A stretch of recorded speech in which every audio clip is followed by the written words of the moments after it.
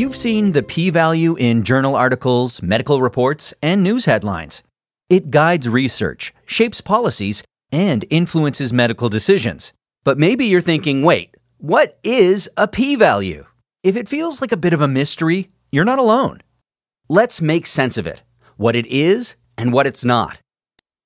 In research, we're often interested in measuring a variable in a population.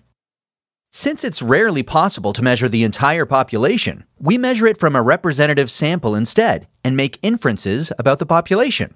However, because a sample is only a subset of the population, the result may differ from the true population value simply due to random variation. The extent of this random error depends on factors such as sample size, variability within the population, how the sample was selected, and random variations in measurement. So, how do we know that the result of a study is real and not just due to chance? To answer this, researchers use statistical tools such as confidence intervals and p values. In this video, we'll take a look at the p value and uncover what it really tells us. A p value is a statistical measure we can use to help us determine whether the result of a study is a true effect or due to chance. It's calculated as part of a process called hypothesis testing. In hypothesis testing, we start with two competing statements about the result of a study. The null hypothesis, or H naught, states that there is no real effect, and an alternative hypothesis, H1, which states that a true effect does exist. We then determine which one is more consistent with the data we have. Let's go through an example to make it clearer. Let's say we conducted a clinical trial to compare two cholesterol lowering medications, one group, sample 1, received drug A, which lowered cholesterol by an average of 2 millimoles per liter. The other group, sample 2, received drug B, which lowered cholesterol by an average of 5 millimoles per liter. Now, at first glance, drug B seems more effective than drug A, with a difference of 3 millimoles per liter. So the question is is the difference real, or is it just due to chance? Let's use hypothesis testing to answer that question.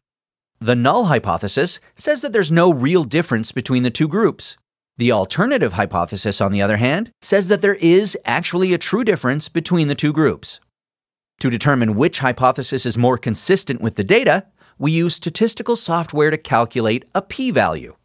The p-value is the probability of obtaining the observed result, or something more extreme, if the null hypothesis is true, that is, if there is no real difference between the groups. The p-value can range from 0 to 1. A small p-value, closer to 0, suggests that the result is unlikely to occur by chance. On the other hand, a large p-value, closer to 1, suggests that it is likely to have occurred by chance. So let's say that for our study, we got a p-value of 0.02, or 2%. What does it mean? It means that if the null hypothesis is true, that is, if there is no real difference between the groups, there is only a 2% chance of observing a result like this or more just due to chance. Because this probability is quite small, it suggests the result is unlikely to be explained by chance alone. This suggests that there is a real effect, an actual difference between the groups. So that's a good thing, right? But what if the p value were 1%? 3%, or 5%? At what point do we decide the probability is small enough to treat the result as meaningful? This is why we need a cutoff called the significance level. With a predefined cutoff, researchers can confidently determine what counts as significant, ensuring reliable and consistent conclusions. By convention, this cutoff is often set at 0.05 or 5%. If the p-value is smaller than this threshold, we say the result is statistically significant.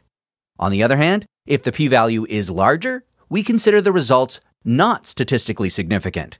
Statistically significant means that the result is unlikely to have occurred just by chance if the null hypothesis were true. Therefore, we reject the null hypothesis. This suggests that the drug being tested has a real effect. Not statistically significant means that the result could reasonably have been due to chance, and there's not enough evidence to reject the null hypothesis. It's important to remember that even with a p value of 0.02, there is still a 2% probability that the result happened by chance. But because we decided on the significance level beforehand, this level of uncertainty is generally considered acceptable. So that's how we can use the p-value and compare it with a significance level to determine whether the results are statistically significant or not. Finally, a few things to note. The significance level is a preset cutoff that defines how much chance is acceptable. It can vary. For example, if we decide on a 0.01 significance level, it means that we're only willing to accept a 1% probability that the result was due to chance. On the other hand, a 0.1 level is more lenient and means that we're willing to accept a 10% probability that it was due to chance. A p value below the significance level does not prove that the null hypothesis is false or that the alternative hypothesis is true. What we can say is that at the chosen level of significance, we can reject the null hypothesis. Because tests rely on sample data and probabilities, we can't be certain only reasonably confident in our conclusions. A result that is not statistically significant does not necessarily mean there is no real effect. It could reflect issues such as a small sample size, large variability, or limitations in the study design. A statistically significant result does not necessarily mean that there is practical or clinical significance. In our example of a cholesterol study, a statistically significant difference in cholesterol levels may not necessarily translate into better health outcomes, such as fewer heart attacks, strokes, or deaths. And that's a quick overview of the p value and how it's used in research.